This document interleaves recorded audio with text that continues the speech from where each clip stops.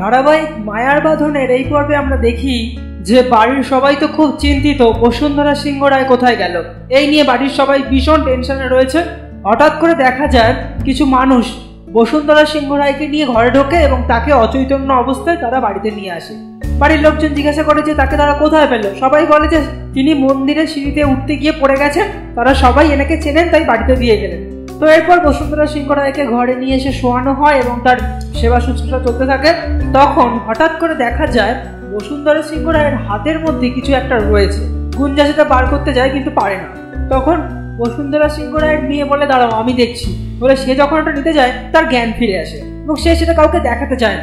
কিন্তু ঋদ্ধি তাকে জোর করলে, ঋদ্ধিকে সে সেটা দেয় এবং সেটা একটি কাগজ যেখানে লেখা ছিল হিয়া জিয়ার নাম। বসুন্ধরা সিংহ রায় বলে যে সে মন্দিরে গেছিল হিয়া জিয়ার নামে পুজো দিতে। বাড়ির সবাই এবার তাকে বলে, যা হওয়ার হয়ে গেছে, তুমি কোথাও যেও না, তুমি এখানেই থাকো, সবকিছু আবার আগের মতো হয়ে যাবে।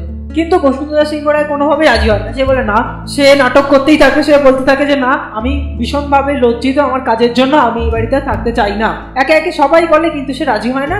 সে শেষমেশ বলে যে, আমি একবার ইয়া জিয়াকে একটু আদর করতে চাই, তারপরে আমি এখানে চলে যাব। কিন্তু এরপর গুঞ্জা ও ঋদ্ধি দুজনেই তাকে অনুরোধ করে শেষমেশ তিনি রাজি হয় এই বাড়িতে থাকার জন্য। তার পরিবর্তে বসুন্ধরা সিংহ রায় বলেন, সে এখানে থাকতে পারে, তবে একটা শর্ত আছে। সবাই তো চমকে যায়, আবার কি শর্ত? শর্তটা হলো, সে গুঞ্জা ও ঋদ্ধির আরও একবার বিয়ে দিতে চায়। এই কথা শুনে তো সবাই খুশি হয়। ওদিকে রাইমা ব্যাপারটা ওপর থেকে শুনতে পায়।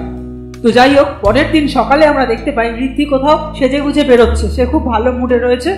তখন রাইমা তার ঘরে আসে। এবং রাইমা এসে তার কাছে জানতে চায় যে সে কোথায় যাচ্ছে। ঋদ্ধি বলে এটা টপ সিক্রেট আজকের দিনটা তার জন্য খুব ইম্পর্টেন্ট সে বলবে না। বলে চলে যায়।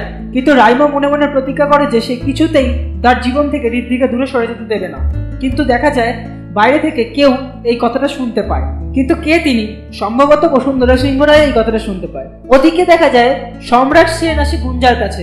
এবং গুঞ্জাকে সে বলে, সে খুশি তো এই বিয়েটা নিয়ে? তো বন্ধুরা, বসুন্ধরা সিংহ রায়ের এই নতুন চাল, গুঞ্জা ও ঋদ্ধিকে বিয়ে দেওয়ার চাল, এর মাধ্যমে কি সে সত্যি সত্যি গুঞ্জা ঋদ্ধির নতুন সম্পর্কে শুরু চাইছে, নাকি তাদেরকে চিরতরে আলাদা করে দিতে চাইছে?